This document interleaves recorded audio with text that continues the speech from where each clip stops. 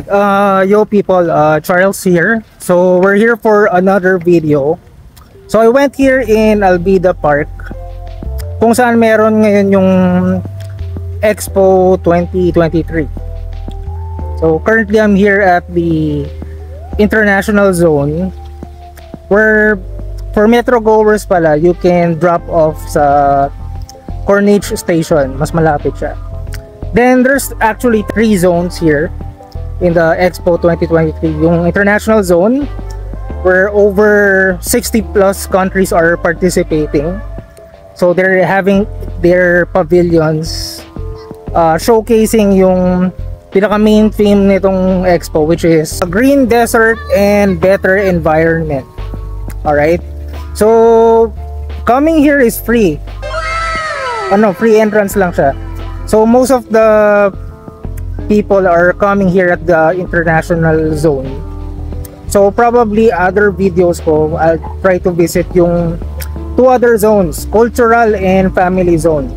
So the main uh, theme nga nung event na to for uh, this uh, particular expo is about uh, the about horticultural. So this expo will run from October 2nd, 2023 up to March 28th of 2024. So there's plenty of time for you guys to drop by and uh, experience this uh, event.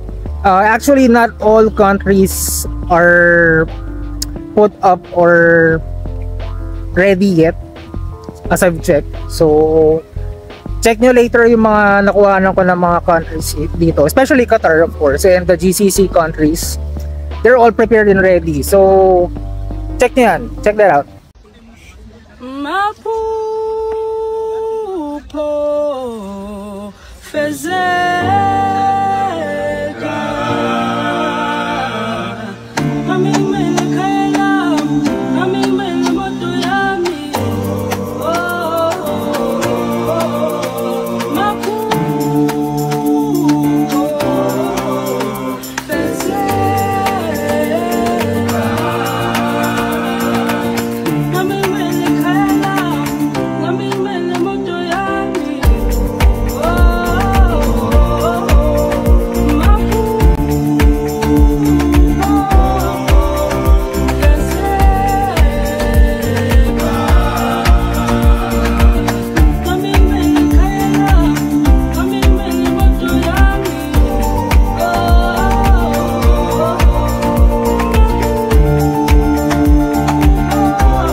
Alright, so regarding timings, international zone is 10 a.m. till 8 p.m.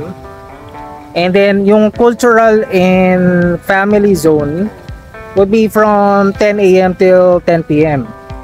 Then Thursdays, uh, same pa rin yung international zone, 10 a.m. till 8 p.m. Uh, cultural and family zone, 10 a.m. till 11 p.m. So extended lang ng 1 hour from 10 p.m. 11 p.m. siya Thursdays. Then Fridays, uh, international zone 1 p.m. till uh, 8 p.m.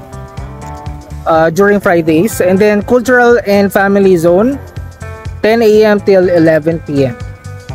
Alright, then Saturdays, international zone 10 a.m. till 8 p.m. pa rin. Then cultural and family zone 10 p 10 a.m. till 10 p.m. Alright, so come bring your families and friends here uh, at Albita Park.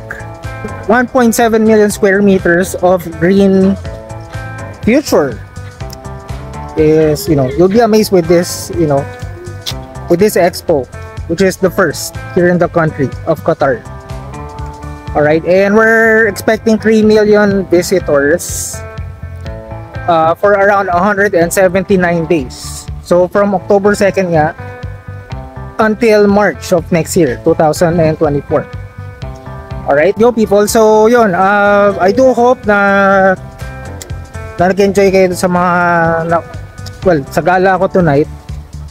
Uh, here at Albida Park, here at uh, Ex Expo 2023.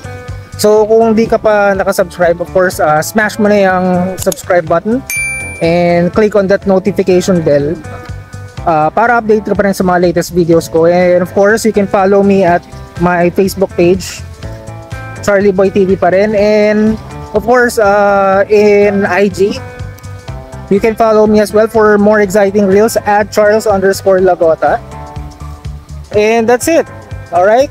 So, I do hope na nag-enjoy kayo sa mga pinakita ko ngayon. Uh, this is just part of the uh, zone, international zone nga here at Expo 2023. So, probably future videos, kukuha-kuha for cultural and family zone.